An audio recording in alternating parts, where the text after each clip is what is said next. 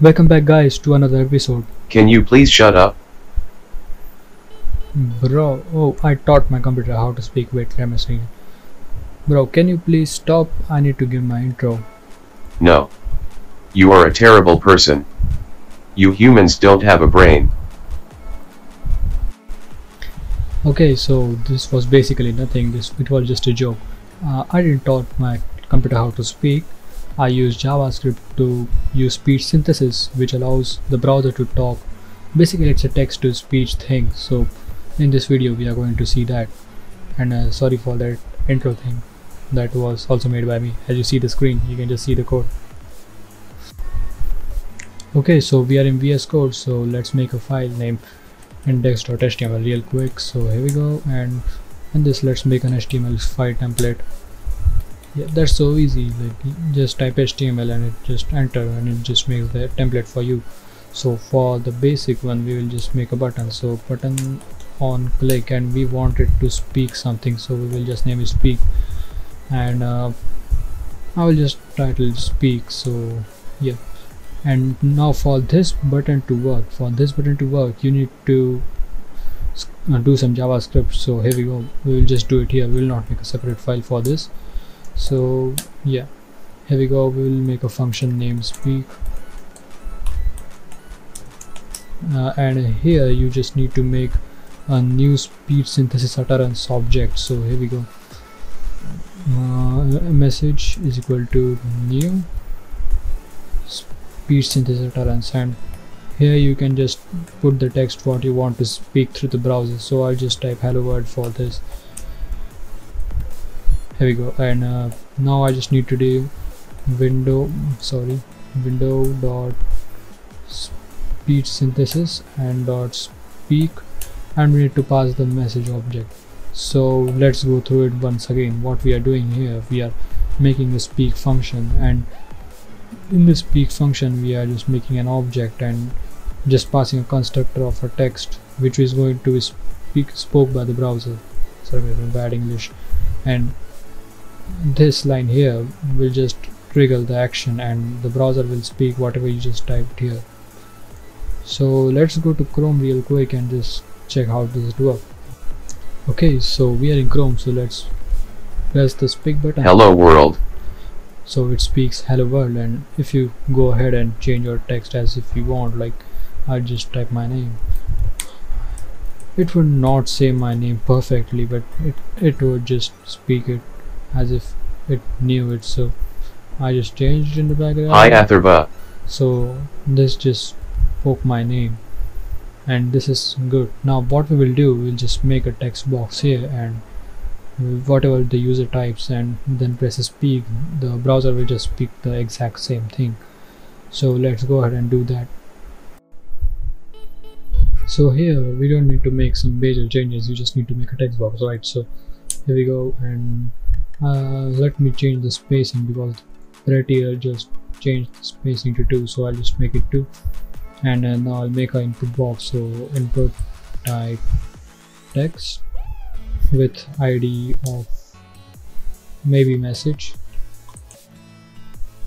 And uh, I'll just end it here and give a br so that it goes a little the button just appears below the text box not besides it oh you know what? Let's just make it look besides. It there's no problem. I'll just do an and then BSP to give some spacing. So here we go. Now what we need to do is just grab the value here. So we will do document. Oh sorry. Dot get element element by id and i need to get message. Dot value. So whatever in the uh, text box will be just spoken by the browser. So it will just come here and it will be spoken by the browser. So i'll just save it. Let's get back to chrome. And uh, let's just type something here. So like uh, welcome to my video. Oh here we go. Now I'll just do speak so something is wrong here. Let me check the inspector.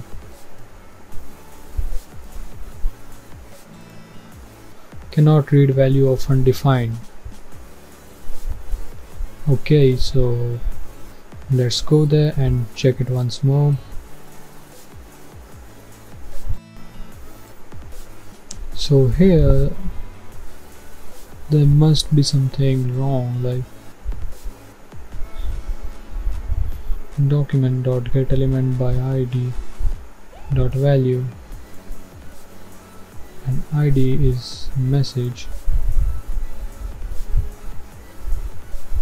There must be something wrong like this cannot just happen like that. Okay so here we are we misspelled message so here we go we'll just fix it. Let's get back to chrome and let's just try that thing again hmm, my video and let's speak it Welcome to my video. yeah like you can just do anything hello youtube maybe and let's try. Hello YouTube. i am an intelligent robot I am an intelligent robo. so that's how you work with this and it's so easy yeah, like you you saw how you did that. And the good thing is that you, you can just play around with the settings like uh, this is not the only voice it can speak. You can just always play around with it and there is a huge documentation written by google just on this topic. So you can just see that and yeah so let's try to play around with the voice now. So let's get back to vs code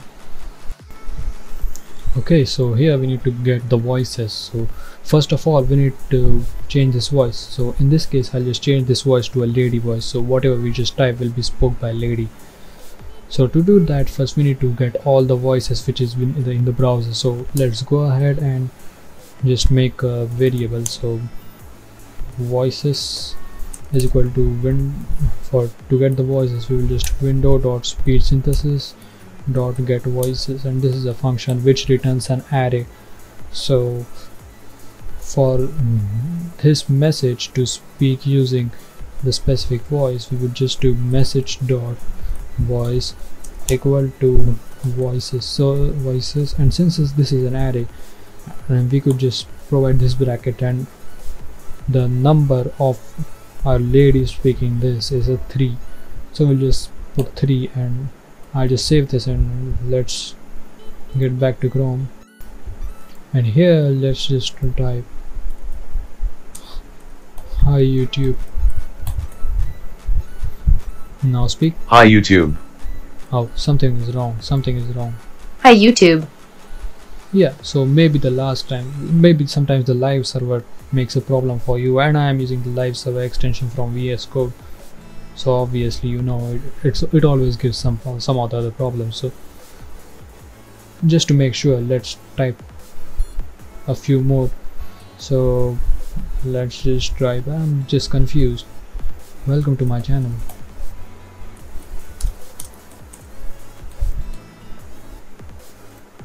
Welcome to my channel. yeah so the lady is speaking. Yeah the lady is speaking so if we go and speak. Yeah, the lady is speaking. sure so the voice has changed. I don't know what, what what just happened maybe it was the problem of the live server. Who knows? And that's it for this video guys. Like uh, this is a good thing. Like you can just play around with it. You can just implement this in your site or you can just do anything with it. This is awesome. So so i'll see you in the next video please subscribe to the video if you like the content and find it useful. And this is of course my first webcam video so sorry i'm using my phone right here. Just don't mind